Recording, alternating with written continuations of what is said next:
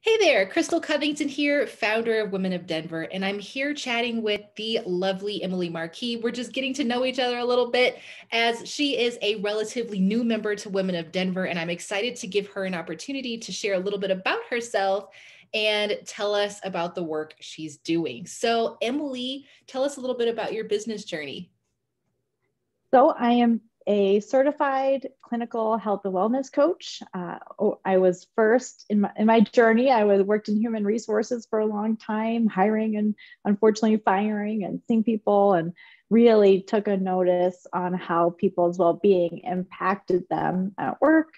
So about 10 years ago, I started my own private practice and health and wellness coaching, and it's really gaining notoriety now. Um, and so that's been my journey. And, and here I am today, and I work with clients on helping them and their overall well being. And that can mean a lot of different things. I partner with clinicians and employers as well. Awesome. Yeah. Health coaching is so valuable. I think people don't, it's such a new field. I think people don't necessarily always know what it is or what it means. It's like, okay, well, how do you coach mm-hmm. someone on their health? But I know for me, it was impactful because I was able to fix some things that were troubling me through health coaching. And it's just, it's a really great, um, it's a really great practice. So, yes. And it's, it's very broad. So yeah, that's true. So tell me a little bit about what's going on in your world of health and health and wellness and coaching right now. What are you observing? What are you kind of, are you getting questions on a regular basis or seeing things that people are um, are regularly dealing with a lot? Yeah, so I think COVID has put so many things into perspective, both individually and from an employer standpoint. So um, things are popping up. Sleep is an issue, stress and burnout is an issue. And then habits that we maybe latched onto during COVID, like that weren't the healthiest because we didn't know what to do. We were isolated. I know some pants have gotten much tighter. So um, I see a range of things, and people, though, are really just drawing awareness that I don't want to feel this way anymore. And I need some help in getting there. I know I can get there. Um, and in the industry overall, as you said, I think people are, are the profession is gaining notoriety. So we're getting clinicians on board. Health coaching is becoming a part of um, benefits or clinical practices. So hopefully it's becoming prioritized not just in reaction, but in prevention too. I know a lot of people who have taken COVID or a family member has passed away or gotten a big diagnosis and they say, I don't want that to continue for me. So people are really just taking a step back and saying, what can we do together and, and how can, and then fortunately we now have coaches to be able to help. Yeah that's a big deal. You mentioned the extra pounds. I was like last year i don't even know. I stopped counting. So, so yeah. but when you change your lifestyle so drastically i mean i was out all the time going to events. I was um, regularly out walking downtown and moving from place to place and all of that ended and i realized I looked at my um my step counts on my oh, yeah. watch and I was like, oh my gosh, I'm doing half. Cause I was wondering, I said, how the heck am I this much bigger? And then I realized, oh, because I'm doing literally half the movement that I was previously. So my husband bought me a treadmill. Oh yeah.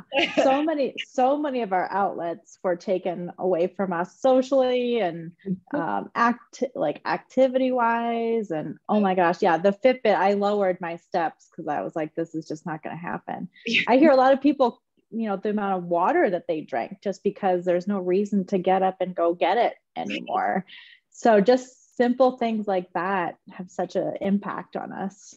Yeah so definitely great to focus on those those uh, transitions and getting us back on track especially as we start reopening some.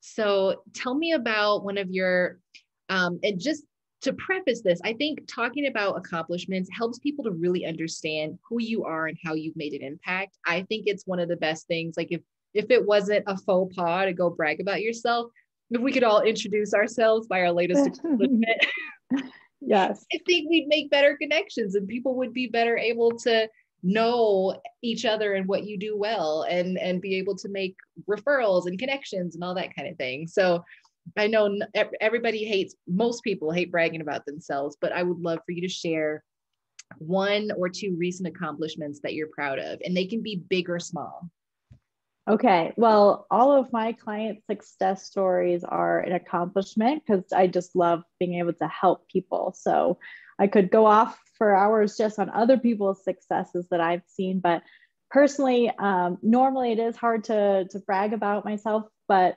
um, I've just had two big accomplishments.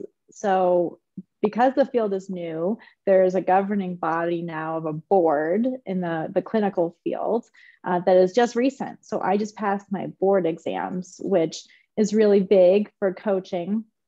And I just graduated with my master's degree in health and wellness coaching. And there's only a handful of programs out there right now. So um, I'm going to chalk that one off to a couple of huge accomplishments as a mom during COVID getting through that. So both personally, that was a huge accomplishment, but also that really allows me to, to serve so many people and um, hold that high credential to, to help the, the profession itself move forward. So those are some accomplishments I'm pretty excited about right now.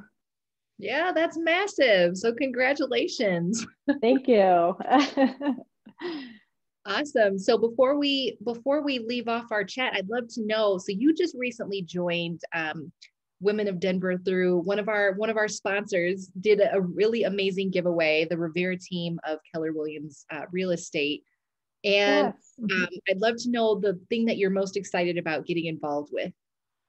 Well, Women of Denver is something I've been watching for a couple of years, and with everything else I had going on, um, it wasn't the right time for me to join. So the, everything aligned in the timing and the, the sweepstakes. And so I'm really excited because I know some other women. And so as an entrepreneur, um, you can sometimes get siloed in your own head.